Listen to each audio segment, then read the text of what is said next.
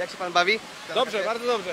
Był pan już gdzieś podczas tych wakacji? E, No ja jestem z Niemiec, my tutaj przyjechali do Pola Okej. i tutaj my są koło Lesna, ale tu jest super, no. A ma pan jeszcze jakieś plany tutaj na sierpień? E, nie, tutaj już nie, tutaj bo już odjeżdżamy za dwa dni. O, bardzo fajnie. A gdzie już byliście? Eee, Zakopany. Na basenie.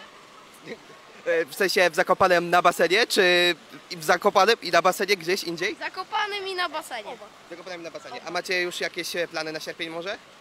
Nie. Byłam z rodziną e, w Chorwacji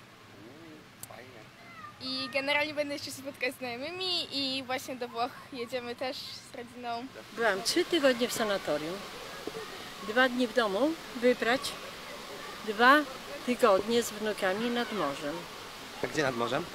międzywodzie. Jak się bawisz na wakacjach? E, dobrze. Gdzie już byłeś? W Opolu, tylko. Tylko w Opolu. I co ciekawego w Opolu jest do zwiedzania? Co ciekawego, że tak powiem, robiłeś w Opolu? E, jadłem. Jadłeś.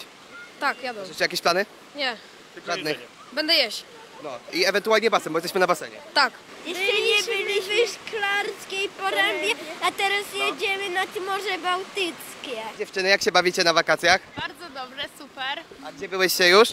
E, jeszcze nie, tutaj Lena była na Węgrzech. Więc. Na Węgrzech. A macie jeszcze jakieś plany na sierpień? Bo jeszcze jest trochę czasu. E, chyba góry Chyba góry. Jakie góry? e, w Czechach. Byłam z rodziną w górach Gdzie i nad górach? morzem. Yy, no w polskich, w Tatrach. O, spoko. Jak było? Fajnie. No pojadę do babci, no i ze znajomymi też się będę spotykać.